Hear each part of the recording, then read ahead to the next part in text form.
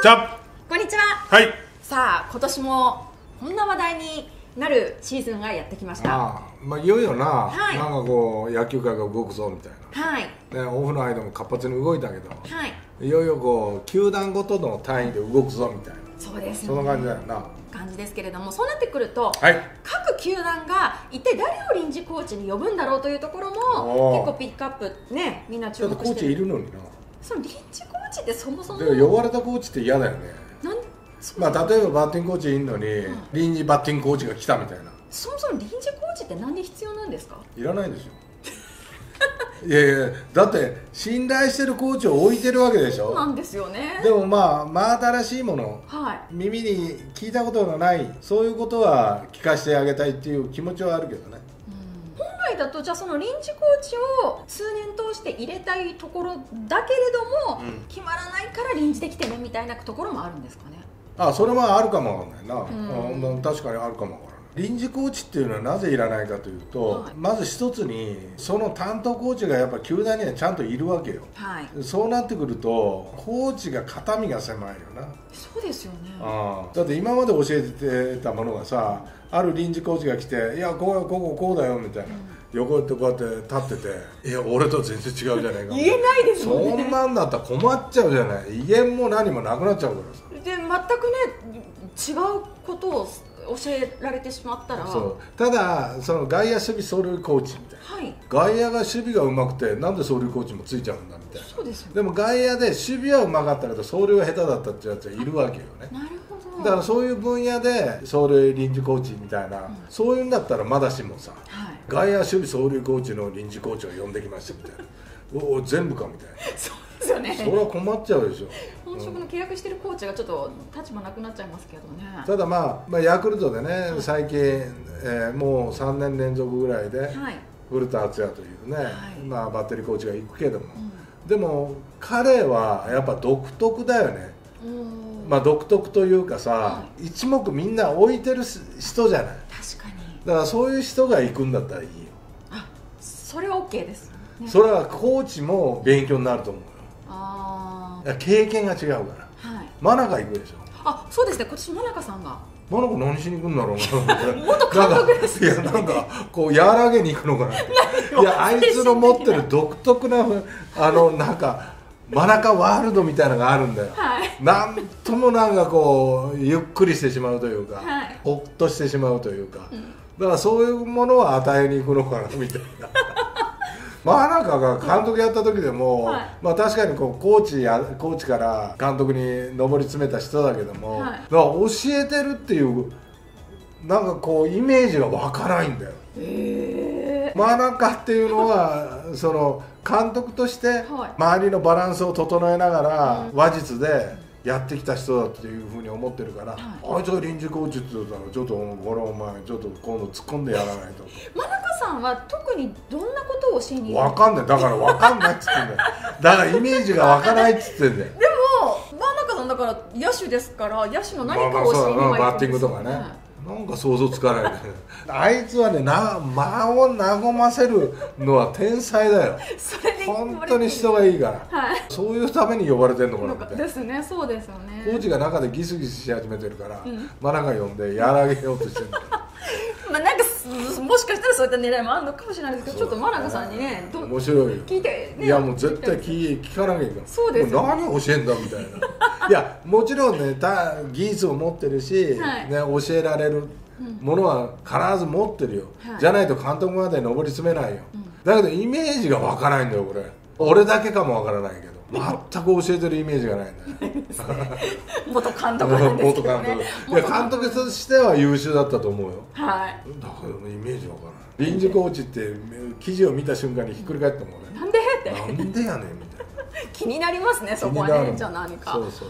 あと西武は、えー、松坂大輔さんが臨時コーチで、ねはい、行かれることになりました、隅田とか、はい。佐藤だとかああいう若手、精神的なものを教えてほしいよね、うーん。投げ方っていうのはまた左と右ではだいぶ違うと思うんで、はい。精神的なものどういうものが勝負に対して気持ちとして大切なのかっていうことをさやっぱり松坂って勝負強かったからね。そうですよ、ね、だから聞くといいよね。そうですよね。あ去年年でしたっけ？あの臨時コーチじゃないですけど巨人で松坂さんが視察に行った時にちょっと原監督このピッチャー見てほしいなっていうふうに声かけたりもしたしてましたやっぱり松坂投手っていうとやっぱりちょっとピッチャーこのピッチャー見てほしいとかアドバイスしてほしいってや各チーム思うですかね。俺ね野村監督が一番そこら辺は柔軟だったよ。へ野え。村監督は柔軟で、は人のプライドというかさコーチのプライドだとかそういうことをあんまり刺激をしないで教えてもらってたと例えば江夏さんが来た時に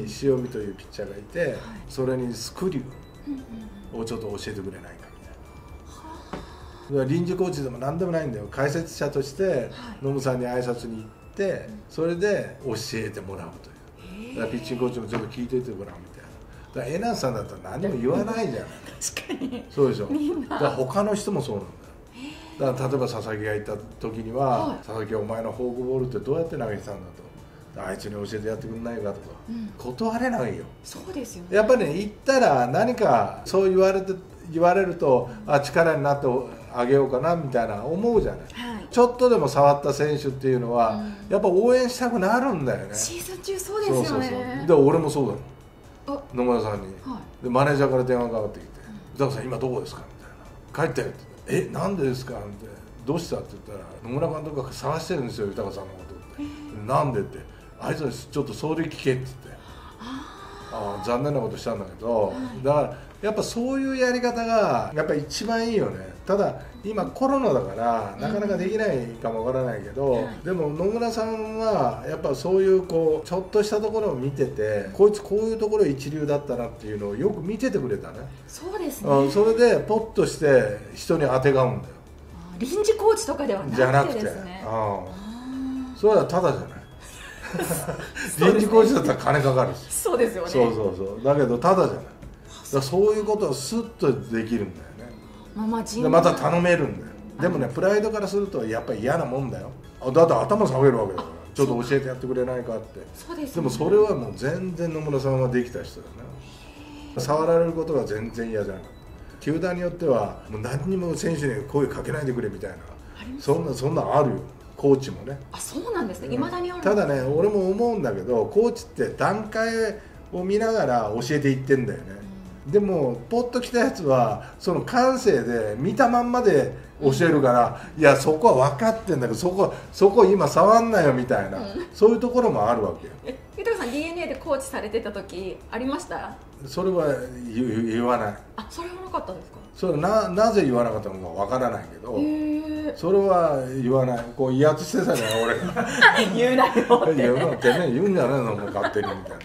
ポッときやがってみたいな。夫でがああ前はそんなねみたいないやまあ威圧はしてないかもわからないけども、そういうのっていうのはあるよね。ああ難しいですねいやそういう段階で教えててんのにさそこ分かってるって、そこを直すために今ここやってるんだから、そこをまあいきなり言うなボケみたいな。それを例えば監督がちょっとちょっとって解説の人に見てって言われたらコーチはなんだよ調子のいいやつはいるんだよそうやって。でも俺は日本ハム行って、はい。今川を触りたい。おもうずっと言ってますよね今川選手あいつねインスタに上げるんだよ自分のバッティング、はい。ダメだなダメだっていうよりもはい。雑すぎる練習が、ああこれはこいつの性格なんだよ多分今川の、うん。一つのものを丁寧に築き上げないと形っていうのはできてこないんだよ、レンガでもセメントをこうしっかり塗ってそこで1ミリ2ミリも狂わないように置いていこうとするでしょ、はい。で土台が固まった時にはもうびくともしない。ものが出来上がってくるんだけどあいつのインスタに上げてるバッティングの映像雑すぎる。ダメパッと見た瞬間あ雑だっていうのがすぐ分かる。豊さんじゃあキャンプに行ってもし今川選手を見られ見れるんであればどういうところから？まずね根気っていうことを教えてやる。よあ根気がどれだけ大切かっていう。ん。そしたら打席の中でどれだけ我慢ができるかっていうことが出来上がってくるんだよ。そしたらね簡単にボール振らなくなるかそれキャンプで根気を鍛えるっていうのはどういうふうにもさうん練習の時から根気だなもうここでやめようかって思った時にもう1本やらす。2本やらす。3本やらすみたいな。うん。上がろうかって「はい今川来い」ってグラウンド走れって。うん。もういいだろうっていうところから三振走らせるおそしたらね根気っていうのは出来上がってくるんだよ。はい。その根気が出来上がってきて初めてあの子は完成品になる今もしね日本新庄監督あたり見てたらね。今川選手をどうでしょうか豊か俺今川は一流にさできる自信がある。よおおちょっとちょっと自信がある。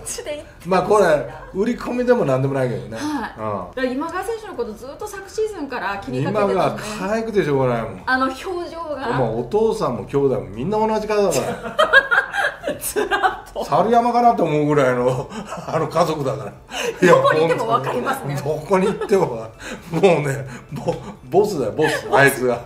可愛いですいや可愛いんだよ本当に。だから、はい。俺は日本ハム行った時には、今川だけは触りたいね。あでもこど今年キャンプ、まあ、回ると思うんですけれども日本ハムのキャンプにはちょ見に行かれる予定とかっていうのは今のところない。ない。ない。だから呼ばれたら行くしかないからね。いやもう行きたいですよね,、まあね。そこはもう今川選手をねちょっと見たいところもあるんですけれども。今川は俺は絶対面白くなると思う。いやだから本当にその臨時コーチだったり例えば OB の方がかいこう視察で見に来られてる時にショットのアドバイスとかで本当に変わる選手もいることもあるんですもんね。吉田康生が変わったの。昨年。はあれやっぱりね藤川球児のやっぱ回転ということなんだよ。い、へえ。この指の置き方ボールに対して、うん。あれだけで多分変わってると思すごいちょっとしたことで。ちょっとしたヒントはあるから、うん。まあいいや責任を負うのはちょっと。急に弱い気にいやバカ心理じゃないんだよ。そうやって引くと相手を追っかけるし。こっちが言うと向こうは逃げるし。心理やないか心理戦も。もう心理戦よお前。ちょっともう動画を通して？いやもうもうもう。いいです。ねでもまああのキャンプなどでねどんな方が臨時コーチで各チーム来てるのかなまあ昨年だと日本ハムなんかね武井壮選手だったり違うジャンルの選手も来てまあしたから。のー DNA で言えば片岡が行くよね。あそうですね片岡さん。あの盗塁王のね、うん。えー取った。まあここら辺はやっぱりよく聞くと面白いと思う片岡って決して足は速くないんだよ。はい。でもあれだけうまかったんだ盗塁が、うん。だからスタートの切り方だとかスライディング聞くといいよ。そうですね、ねこのキャンプで臨時コーチの方の指導で、まあ、選手がどういうふうに変わっていくのかをそう。だよはい注目していきたいと思います。はい